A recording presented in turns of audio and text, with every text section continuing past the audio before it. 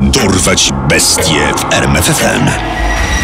Imię i nazwisko: John William Cooper. Liczba ofiar: 4. Preferowana metoda morderstwa: strzelanie z broni. Skazany na dożywocie. Obecny status: przebywa w więzieniu o nieznanej lokalizacji. Gdyby nie telewizja, badania DNA i jeden uparty śledczy, być może sprawca tzw. morderstw z Pembrokeshire byłby dziś na wolności. 28 maja 1989 roku w telewizji ITV zostało zarejestrowane nagranie, w którym pochodzący z Walii 45-letni mężczyzna o nazwisku John William Cooper bierze udział w Bullseye. Był to popularny teleturniej, który polegał na grze wrzutki. Prowadził go dziennikarz Jim Bowen. On to właśnie w sympatyczny sposób zagadywał Coopera, który opowiadał o swojej miłości do gry wrzutki i do walijskiego wybrzeża. Bowen zagadnął mężczyznę także o jego inne zainteresowania. Hobby, John? Tym niezwykłym hobby by było nurkowanie. Jednak gdy dziś patrzy się na Johna Coopera, a nagranie tego fragmentu łatwo znaleźć w sieci, widza przechodzą ciarki. Ten miły, łagodny mężczyzna, śmiało patrzący w kamerę, który ze swadą opowiada o swoim życiu i urokach nurkowania, cztery lata przed występem w telewizji zabił dwie osoby. Zaledwie dwa miesiące po emisji Bullseye pozbawił życia kolejne dwie ofiary. Być może ludzi, których zamordował, było więcej. Miał też na koncie liczne napady z bronią, włamania do domów we wsi Milford Haven w Pembrokeshire, gwałt i napaść na tle seksualnym. John Cooper szybko odpadł z teleturnieju i równie szybko o nim zapomniano. Aż do 2008 roku, kiedy to nadinspektor Steve Wilkins z policji w Dyfed Powys postanowił jeszcze raz prześwietlić przestępczy życiorys Coopera, posiłkując się nowymi dowodami, zeznaniami świadków i przypadkowo znalezionym po 19 latach nagraniem. Tuż po procesie mordercy Wilkins powiedział: John Cooper zabijał ludzi dla niewielkich korzyści finansowych. Jest niebezpiecznym i złym człowiekiem. John William Cooper, który po latach okazał się seryjnym mordercą, urodził się w 1944 roku. Już od nastoletnich czasów miał problemy z prawem. Między 17 a 21 rokiem życia był kilkakrotnie oskarżany o kradzież pojazdu, o napaść na funkcjonariusza policji, o zakłócanie porządku w miejscu publicznym i napaść z ciężkim uszkodzeniem ciała. Sumie w jego tzw. Tak karierze uzbierało się około 30 rabunków, napadów i innych brutalnych ataków. W 1978 roku Cooper, pracujący wówczas jako rolnik, wygrał w konkursie Spot the Ball 90 tysięcy funtów. Dziś to byłoby około pół miliona funtów oraz warty 4000 funtów samochód. Gdy finansowe szczęście zapukało do jego drzwi, Cooper rzucił pracę i przepuścił całą wygraną. Jeden z jego znajomych z tamtych czasów wyznał po latach, że John wpadł w hazard i alkoholizm. Wszystko wydał w pubach i u bukmacherów, a ludzie zaczęli się go bać. Cooper podobno obstawiał 50 funtów dziennie na wyścigach konnych. W ten sposób pieniądze szybko się skończyły, a mężczyzna wrócił do kradzieży i do rozbojów. 22 grudnia 1985 roku, tuż przed Bożym Narodzeniem, napadł z bronią w ręku na trzypiętrowy dom w posiadłości Scovenstone Manor, należący do 58-letniego, bogatego właściciela ziemskiego Richarda Thomasa i jego 4 lata młodszej siostry Helen. Oboje zostali zastrzeleni. Następnie Cooper podpalił ich dom, by zatrzeć za sobą ślady. Cztery lata później, 29 czerwca 1989 roku, trzy tygodnie po nagraniu odcinka Bullseye dla ITV, John William Cooper zaatakował po raz kolejny. Jaka szkoda, że nasze wakacje już się kończą. To co, idziemy się przejść wzdłuż wybrzeża? Jego ofiarami zostali Peter i Gwenda Dixon, kończący właśnie urlop w Pembrokeshire. Małżeństwo nigdy nie wróciło ze spaceru. Ich martwe ciała zostały znalezione na nadmorskiej ścieżce.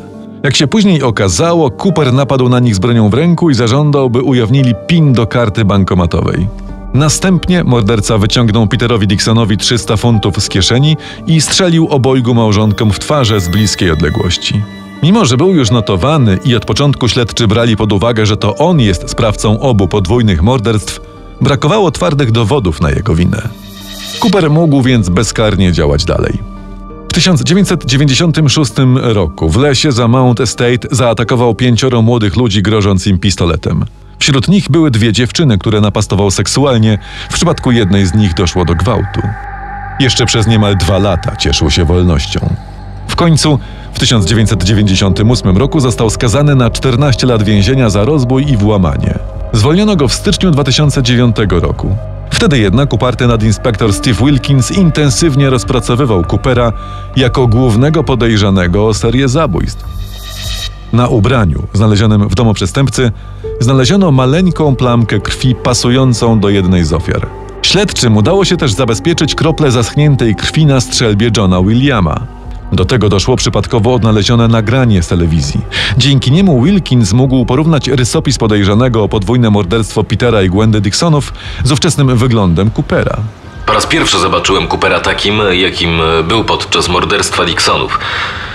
Przez 30 lat służby widziałem wiele portretów pamięciowych, które miały oddawać wizerunek mordercy, ale nigdy nie spotkałem się z tak uderzającym podobieństwem.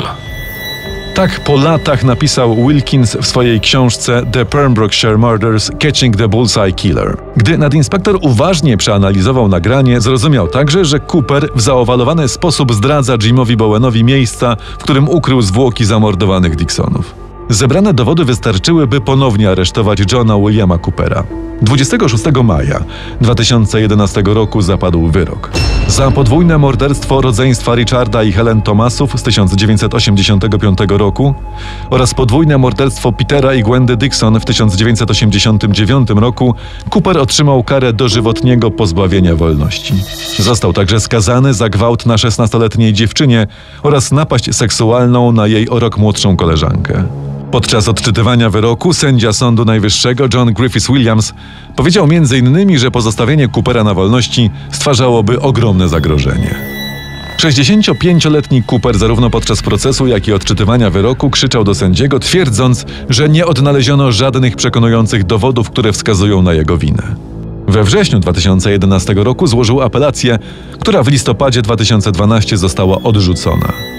Morderca odsiaduje po dziś dzień swój wyrok. To jednak nie koniec historii Johna Williama Coopera. Prawdopodobnie jest on powiązany z kilkoma innymi niewyjaśnionymi do dzisiaj przestępstwami. Po skazaniu mordercy w roku 2011 śledczy przyznali. To wymaga dalszego dochodzenia. Śledztwo i proces doprowadziło nas do paru interesujących kwestii, którym chcemy się bliżej przyjrzeć. Okazało się, że niektóre niewyjaśnione morderstwa dokonane w południowej Walii wykazują wielkie podobieństwo do zabójstw dokonanych przez Coopera. Jedno z nich to zagadkowa śmierć 72-letniej Flo Evans z 1989 roku. Kobieta została znaleziona w wannie w swoim domu, który znajdował się w pobliżu miejsca zamieszkania Coopera. Od początku podejrzane było choćby to, że Evans musiała się kąpać w zimnej wodzie, ponieważ w chwili śmierci miała wyłączone ogrzewanie. Co więcej, John Cooper znał żyjącą samotnie kobietę osobiście. Wykonywał dla niej od czasu do czasu dorywcze prace. W 1989 roku nie było jednak żadnych dowodów na to, że w śmierć Flo Evans wplątane były osoby trzecie. Policja zanotowała, że kobieta musiała przypadkiem uderzyć się w głowę wchodząc do wanny z zimną wodą i utonąć. Po skazaniu Coopera śledczy skontaktowali się z rodziną zmarłej. Według naszych informacji Flo Evans nie zginęła przypadkowo. Istnieje powiązanie między jej śmiercią a innymi zabójstwami dokonanymi przez Johna Williama Coopera. Także Steve Wilkins przyznał to w 2021 roku w telewizyjnym dokumencie The Pembrokeshire Murders Catching the Games Show Killer. Śledczy odkryli również powiązanie między skazanym już seryjnym mordercą, a zabójstwem pary zastrzelonej z bliskiej odległości w Lanhery w 1993 roku. Ofiarami tego morderstwa byli 64-letni Henry Tuss i jego 67-letnia żona Megan.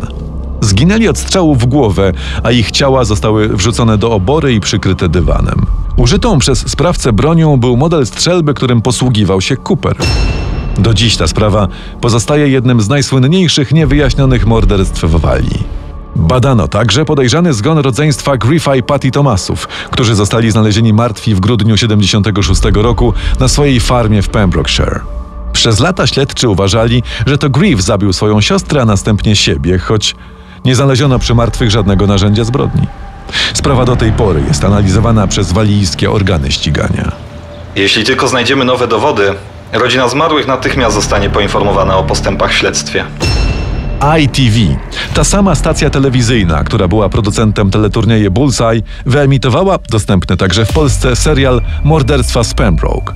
opowiadający o życiu i zbrodniach Johna Coopera z Luke'em Evansem w roli detektywa Steve'a Wilkinsa. Seryjnego mordercę zagrał Kit Allen. W odcinku, w którym nadinspektor ogląda teleturniej na rzeczywiste nagranie z udziałem Coopera, jest nałożony cyfrowo wizerunek odmłodzonego aktora. Tymczasem prawdziwy John William Cooper przebywa w więzieniu o nieznanej lokalizacji i do tej pory utrzymuje, że jest niewinny. Poznaj sekrety największych zbrodniarzy świata. Dorwać bestie w RMFFM.